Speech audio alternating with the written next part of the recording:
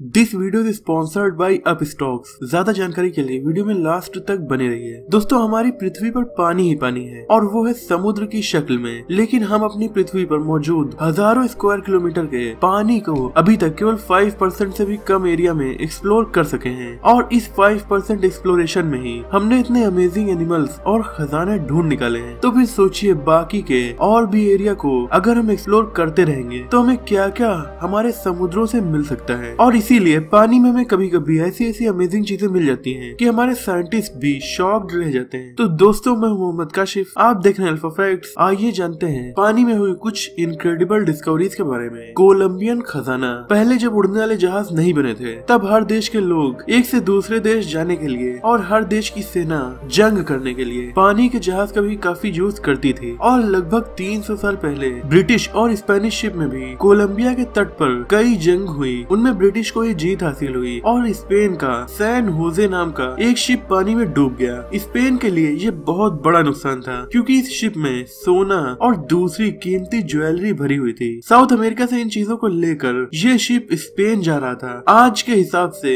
इस खजाने की कीमत थी 17 बिलियन डॉलर्स, यानी कि लगभग एक लाख बीस हज़ार करोड़ रुपए। 2015 में कोलंबियंस ने इस शिप के मलबे को ढूंढ निकाला। एक्सपर्ट्स का मानना है कि अब तक ढूंढा गया ये सबसे कीमती पानी के जहाज़ का मलबा है, पर सवाल ये उठता है कि अब इस खजाने का मालिक कौन होगा? ये शिप तो स्पेनिश लोगों का है तो क्या उन्हें ये दे दिया जाएगा? पर ये मिला कोलंबिया के हिस्से वाले समुद्र में है, और इसे ढूंढा भी कोलंबिया नहीं है तो इसलिए इसे कोलंबिया को ही मिलना चाहिए। ये विवाद आज तक नहीं सॉल्व हो सका है। इसीलिए कोलंबियन गवर्नमेंट ने उस खजाने को समुद्र से निकाला ही नहीं, और जहाँ पर वो मिला है, उस लोकेशन के बारे में किसी को बताया ही नहीं, या फिर हो सकता है चुपके से निकाल लिया हो, और किसी को ये बात पता न चलने दी हो lake Baikal lake Baikal Russia के इरकुत्स्क रीजन में मौजूद बेहद ठंडी लेक है। ये लेक बड़ी बड़ी गाड़ियों को अपने अंदर कैद कर लेती है और कहीं नहीं जाने देती। इसकी वजह इस लेक के पास से गुजरती हुई रोड सर्दियों के मौसम में समझ में नहीं आता कि रोड किधर है और लेक किधर। और इसीलिए कभी कभी ड्राइवर्स रोड से हटकर जम चुकी इस लेक पर ड्राइविंग करने लगते हैं और उनकी कार इसी में फंस जाती है। लेकिन शायद बर्फ़ की वजह से ये कार इसमें नहीं फंसती। इस लेक में आसमान से एस्ट्रॉइड्स भी गिर चुके हैं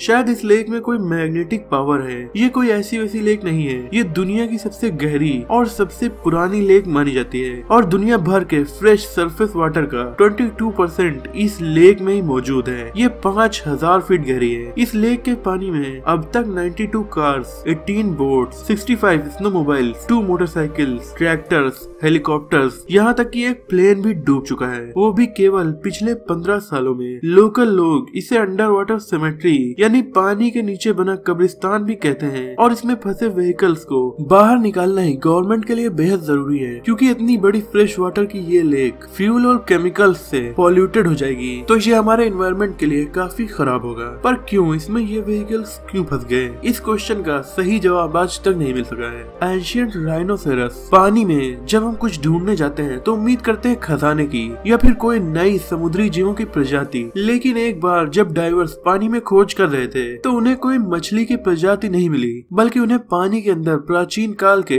राइनोसेरस का फॉसिल मिला। ये दस फीट लंबा काफ़ी बड़ा राइनो था, जो देखने में भी काफ़ी भयानक लगता होगा। और ये आज पाए जाने वाले राइनोस का पूर्वज रहा होगा। पर समुद्र के अंदर ये राइनो कैसे पहुँचा? यूक्रेन के शहर ओडेसा के पास ब्लैक सी में इस फॉसिल की खोज हुई है। इसके अलावा यहाँ पर समुद्र के नीचे लकड़ी में बनी बिल्डिंग्स भी मिली है, जो इस बात का सबूत है कि पहले यहाँ सूखी ज़मीन थी, पर हज़ारों साल पहले एक भयानक बाढ़ आई थी। समुद्री खजाना। स्पेनिश पानी के जहाज़ के खजाने को मिलने से पहले नोस्ट्रा सेनोरा डे टोका सबसे कीमती समुद्री खजाना था, जिसे 1985 में ढूंढा गया था। इसे एडवेंचरस मिल फिशर ने ढूंढा था और सालों तक ढूंढे जाने के बाद ये खजाना मिल पाया था। हर गोताखोर का ये कहीं ना कहीं ड्रीम होता है कि पानी के अंदर वो किसी खजाने को ढूंढ निकाले और जब मिल फिशर का ये ड्रीम पूरा हुआ तो वो बेहद अमीर हो गए। स्पेन का एक पानी का जहाज़ एक तूफ़ान में फंसकर 1622 में डूब गया था। इसमें 40 टन से ज़्यादा खजाना था, जिसमें सोना चांदी और दूसरे कीमती पत्थर थे। इसे ढूंढे जाने के बाद से वहाँ से 450 मिलियन डॉलर यानी लगभग 3100 करोड़ रुपए का खजाना निकाला जा चुका है। लेकिन ये खजाना पूरा नहीं मिला है, क्योंकि शिप टूट कर डूबा था। तो ज़्यादातर खजाना अब भी समुद्र में कहीं छिपा हुआ है, और इसीलिए अब भी लोग इसे ढूंढ रहे हैं। मैक्सिकन कैथेड्रल कभी कभी बाढ़ आने से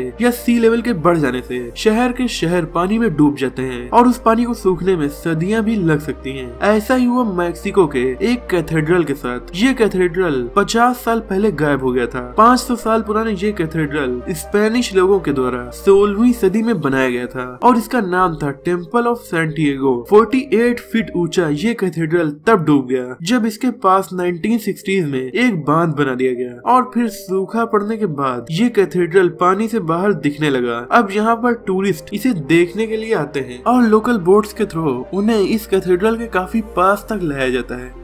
Sweepstakes ship. कुछ शिप्स पानी में ज़्यादा नहीं डूबते, बल्कि वो सरफेस से दिखाई देते रहते हैं। ऐसा ही हुआ स्वीप स्टेक्स के साथ। ये कनाडा के ओंटेरियो शहर के पास कोयला लेकर जा रहा था। तभी एटीन में डूब गया। इसे किसी तरह रेस्क्यू करके किनारे तक लाया गया, पर इसे परफेक्टली बनाया नहीं जा सका। अब ये पॉपुलर टूरिस्ट अट्रैक्शन बन चुका है। और यहाँ बहुत से विजिटर्स इस जहाज़ के मलबे को देखने के लिए आते हैं। वही कुछ टूरिस्ट तो अंदर गोता लगाकर इसे करीब से भी देखते हैं, कुछ सालों पहले तक तो। डाइवर्स को बोट के अंदर जाकर एक्सप्लोर करने की भी इजाज़त थी। लेकिन अब इस पर बैन लग चुका है, क्योंकि डाइवर्स के सांस लेने से जो हवा निकलती थी, वो इस जहाज़ को डैमेज कर रही थी और अब इस जहाज़ को फ्यूचर की जनरेशन के लिए प्रिजर्व कर लिया गया है। S S Baron Gautsch Austro Hungarian 300 feet लंबा। ये ऑस्ट्रो हंगेरियन शिप 1908 में बनाया गया था। 1914 में वर्ल्ड वॉर वन होने के बाद इसे मिलिट्री के लिए यूज़ किया जाने लगा। लेकिन थर्टीन अगस्त 1914 को ही ये शिप डूब डूब गया, क्योंकि इसका कैप्टन सो गया था और फ़र्स्ट ऑफिसर इंचार्ज था। लेकिन उसकी लापरवाही से ये शिप अपना डायरेक्शन बदल कर आगे बढ़ गया और उस जगह पर ऑस्ट्रो हंगेरियन आर्मी ने दुश्मन देशों के शिप्स के लिए माइंस लगाई थी और उन्हीं माइंस की चपेट में आकर ये शिप सात मिनट के अंदर ही डूब गया। 1958 में इसका मलबा ढूंढा गया।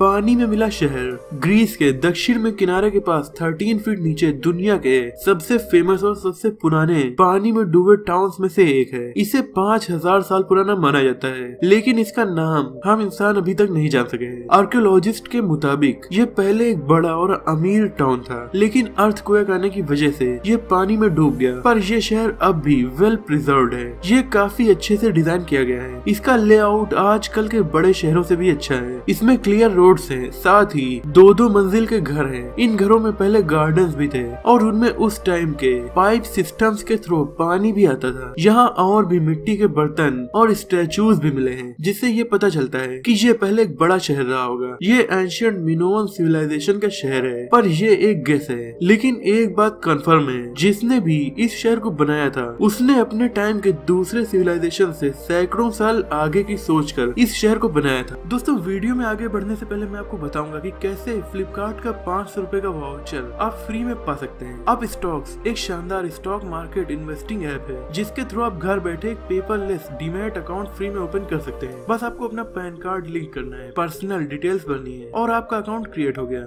वहीं पर कोड अब स्टॉक्स 500 डालते ही टू हंड्रेड रुपीज़ का एक फ्लिपकार्ट वाउचर आपको मिलेगा। इसके अलावा within a week first trade करते ही थ्री हंड्रेड रुपीज़ का एक और वाउचर आपको मिल जाएगा।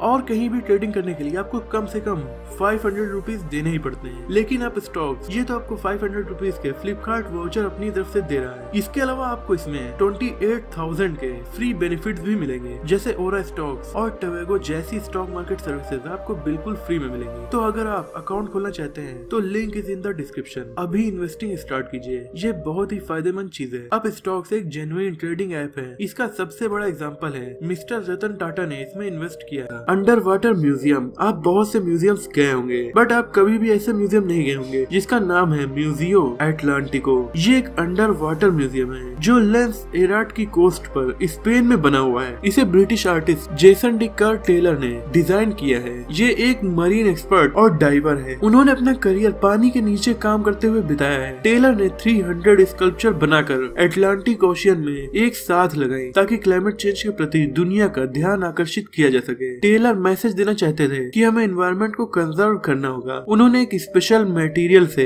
ये मूर्तियाँ बनाई जो पानी में डिजोल्व नहीं होता है। जिसका मतलब ये मूर्तियाँ पानी को जरा भी नुकसान नहीं पहुँचाएँगी। यहाँ पर इंसानों के 200 से ज़्यादा स्टेचूज को एक सर्किल के शेप में भी अरेंज करके एक जगह पर लगाया गया है। और इसे इस तरह से बनाया गया है कि यहाँ पर समुद्री जानवर आकर रह सके, खासकर इन मूर्तियों से कोरल रीफ बन सके। टेलर का कहना है की इंसानों की ये मूर्तियाँ इस बात को दर्शाती है की इस प्लेनेट पर लाइफ पानी से ही शुरू हुई है। और अब भी हम इस पर डिपेंड है, इसीलिए हमें इसे बर्बाद होने से रोकना चाहिए। दोस्तों, आपको ये वीडियो कैसी लगी कमेंट में ज़रूर बताइएगा। अगर आपको ये वीडियो जरा भी पसंद आई हो तो इसे लाइक कीजिए और अपने दोस्तों में शेयर कीजिए। ऐसे इंटरेस्टिंग टॉपिक्स पर नॉलेजफुल वीडियोस देखने के लिए हमारे चैनल को सब्सक्राइब करके बेल आइकन को दबा दीजिए। मिलते हैं अगली वीडियो में, तब तक के लिए अपना और अपनों का ख्याल रखिए।